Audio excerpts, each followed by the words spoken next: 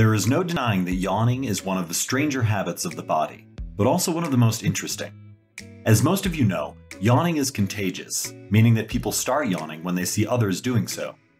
There is even something powerful about the idea itself, as people often feel compelled to yawn after simply reading the word a few times. However, as good as it feels to let a yawn escape, they can also fail to complete, which can leave us feeling unsettled or irritated. Imagine that you feel a yawn coming on, close your eyes, and open your mouth, only to have your mouth involuntarily close before the yawn has gotten out. What makes this even worse is that this usually doesn't happen just once. You may end up having incomplete yawns every couple minutes until you can finally finish and get that sense of relief and satisfaction. But why does this happen? Why don't yawns always complete themselves? Well, as you've likely noticed, particularly if you're a pet owner, humans aren't the only creatures that yawn. Scientifically speaking, a yawn is a paroxystic cycle associated with a cascade of movements taking place over 5 to 10 seconds. Yawning is about more than just opening your mouth.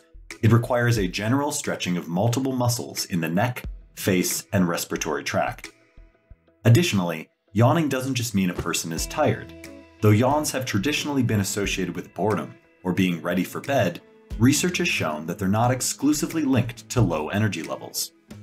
Throughout history, beliefs about yawning have stretched from removing bad air from the lungs to increasing blood pressure and oxygenation throughout the body. Research, however, hasn't shown any changes in heart rate or brain activity as a result of yawning. New theories are always being generated. Recently, yawns have been hypothesized as a transitional signal from sleeping to being awake, or from boredom to focus, moving in either direction. Others have suggested that we yawn to decrease the temperature of our brain. A 2010 study from professors of psychological sciences at the University of Connecticut found that the act of yawning may also be an unconscious sign that a subject is attuned to another person's emotions. However, when it comes to unfinished or incomplete yawns, research has found that they are manifestations of underlying anxiety or stress and the psychological inability to let go. As mentioned, yawning involves muscles throughout the body, from the face, neck, and respiratory tract to stretching of the limbs and the trunk. This alerts various parts of the brain associated with experiencing good sensations. However, the Thompson cortisol hypothesis suggests that cortisol, a stress hormone, briefly elevates during a yawn.